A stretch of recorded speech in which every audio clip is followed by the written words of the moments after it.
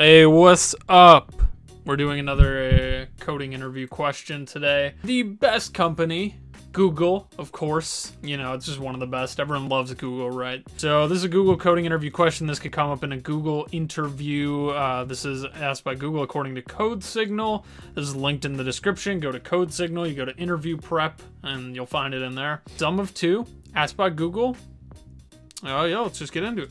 All right, so here's the problem that we're gonna be dealing with here. We have two integer arrays, A and B. So two arrays of numbers, and then we also get a target value. We have to take a number from one number from both of those arrays and determine whether there are two numbers where one is from each array that add up to that target value. So you know, one number from A, one number from B, and they have to be added together to get a sum of V, the value that we're given as well. Return true if this is possible, false if not.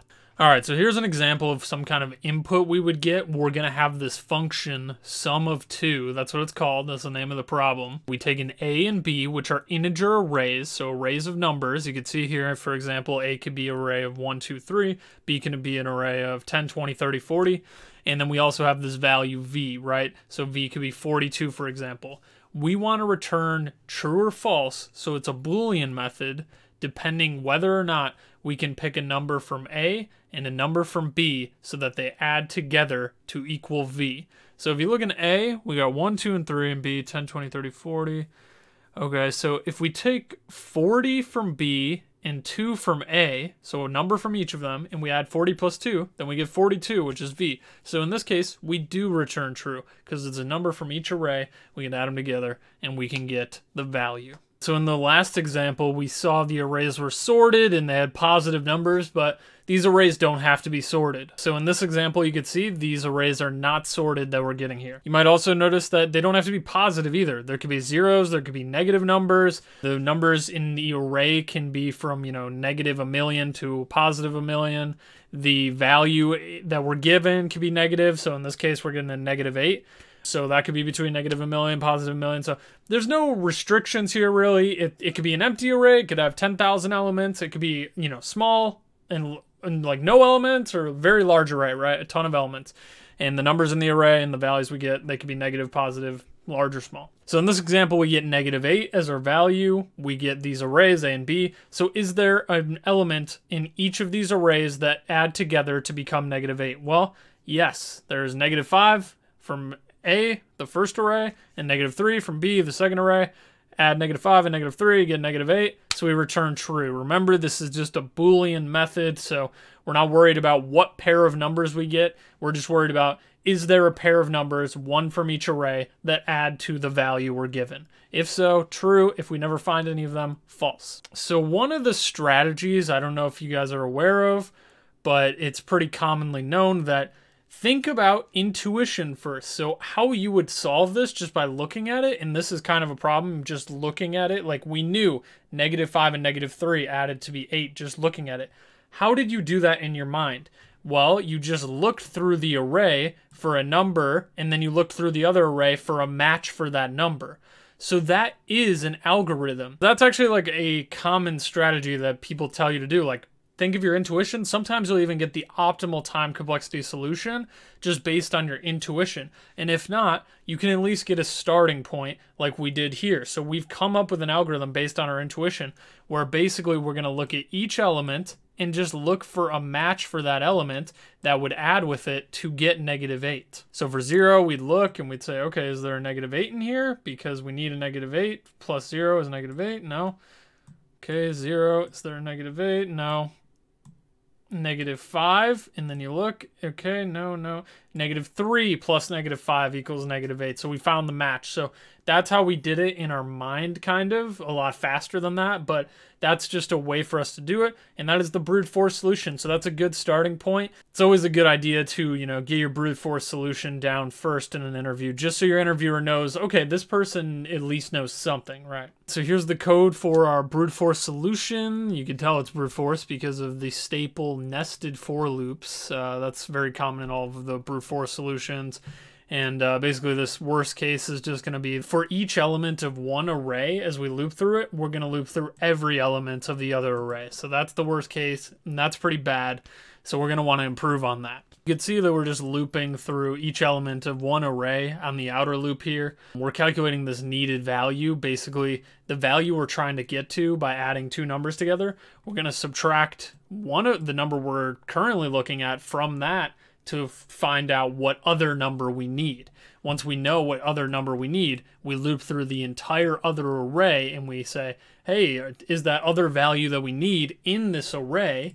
If it is, okay, that means there's there are two numbers that add up to that value that we're trying to get to. So we'll return true, right? It's just a boolean method. We don't return the values. And if we don't find it, we just go on to the next value in the other array and we just keep calculating the needed value, keep looking for those needed values in the other array. If we don't find it anywhere, if we don't find a pair that add up to equal v, we just return false. There is no match. This is a brute force. So we can definitely improve on this to get from A times B. We want to get that down to, you know, A plus B. Where in worst case, we're only looping through each array maybe once compared to, you know, looping through, you know, one array every single time for each element of the other one. It's a lot better. It's a lot, it's a huge improvement. So let's look at how we can do that.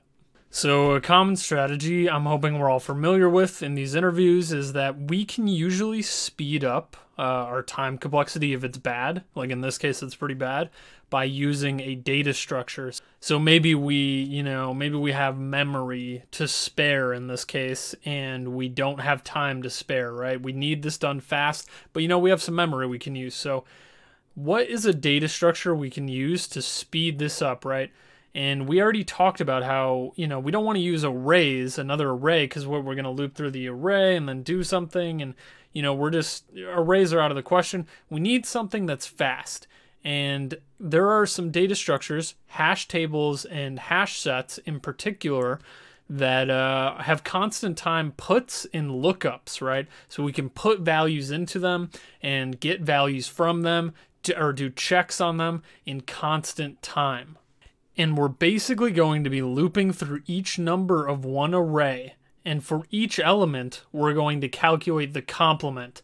Complement meaning the other value we need to add to the current element to get the value we're looking for. So in this case, we're looking for negative 8, right?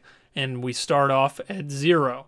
So what we'll do is use this formula here and we'll subtract the current element 0 from negative 8 to see what other number we need. So we calculate negative 8. So to get negative 8 with a 0, we need to, a negative 8 in this other array. So we're going to put that into our complements hash set, which takes no time at all to put it in there.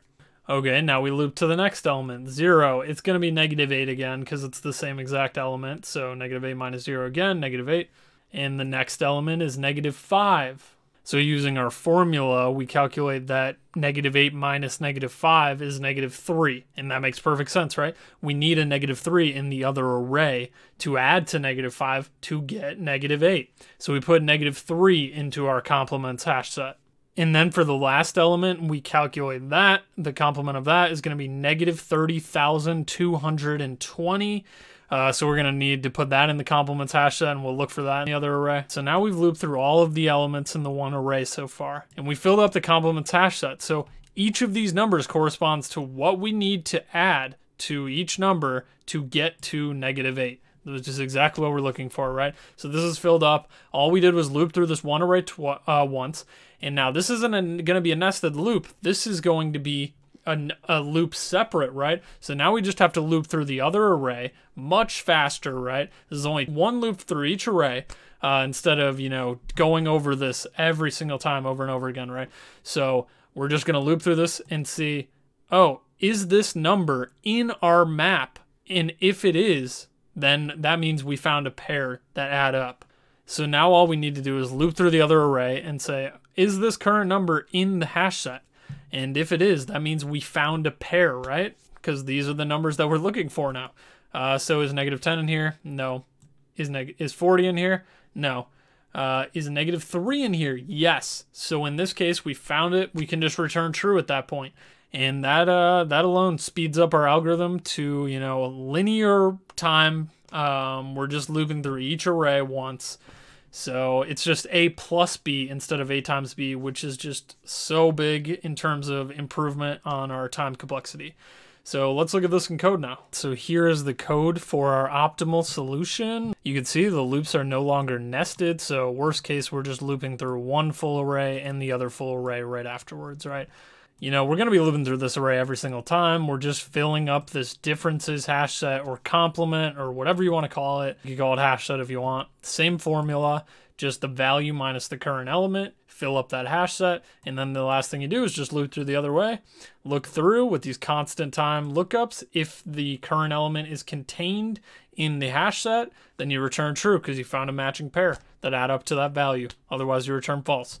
So same thing. The only difference is the for loops are now separate, not nested. A lot better in time complexity here. So yeah, that's pretty much it. Definitely a shorter video because it's not that it's not really not that difficult of a problem here. Uh, the trick is just thinking about how we can use a data structure to speed up our time complexity after brute force.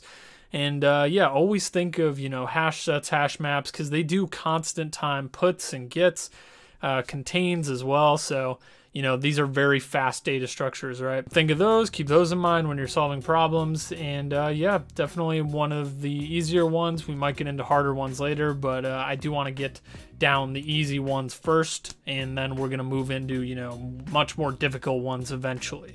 So thank you guys for watching. Please like and subscribe this video to help me promote my channel. And uh, yeah, also feel free to support me on my Patreon is in the description. Join the Discord, all that stuff. Uh, it's all in the description there. So I appreciate you guys. Um, thank you for watching, and uh, I'll see you in the next problem. Peace.